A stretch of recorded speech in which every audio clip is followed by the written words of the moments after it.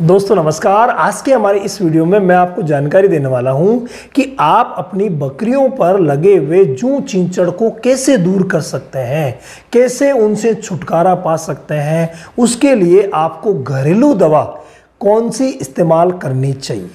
देखिए, एक जांची पर की दवा, जो कि तीन घरेलू कंटेंट से मिलकर के बनी हुई है। उसके बारे में मैं आपको जानकारी देने वाला हूँ, उसे आप इस्तेमाल कर सकते हैं।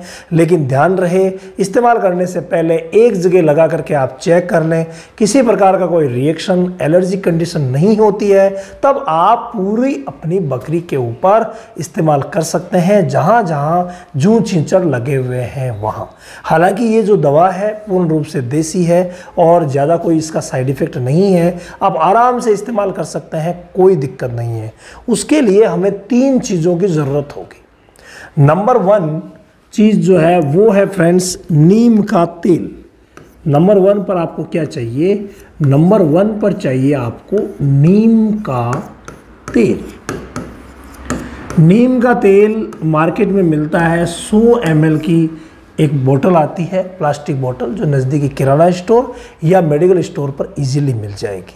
इस नीम के तेल को सीधा आप लेकर के और यूज़ कर सकते हैं। उसके साथ आपको मिलाना है आरती कपूर। दूसरी जो चीज़, यानी जो टोटल तीन चीज़ें मैं आपको बताने जा रहा हूँ, उसमें से जो दूसरी चीज़ें हैं चीज़ है, वो है आरती कपूर, जो कि 10 ग्राम आरती कपूर हमें 100 एम नीम के तेल में कूट पीस करके मिलाना है। यानी इस आरती कपूर को हमें अच्छी तरीके से कूट लेना है और कूट करके और फिर उस तेल में, नीम के तेल में मिक्स कर देना है। इसके बाद तीसरी जो चीज़ आती है फ्रेंड्स, वो है अपने वाला साधारण नमक। यानी काला सेंधा नहीं, हमें साधारण नमक लेना है, मात्र पाँच ग्राम लेना है।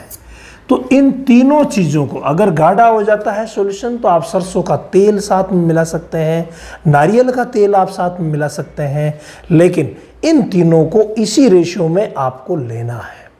100 एम नीम का तेल लिया और आरती कपूर हमने 10 ग्राम लिए जो टिकिया आती है और साधारण नमक 5 ग्राम लिया इन सभी को। यानी इन दोनों को कूट करके, पीस करके, अच्छी तरीके से बारीक करके नीम के तेल के साथ मिला देना है और जहाँ जहाँ जू चिंचड़ लगे हुए हैं हमारी बकरी को परेशान कर रहे हैं, वहाँ इसे अप्लाई करें। जू चिंचड़ से बिल्कुल छुटकारा मिल जाएगा।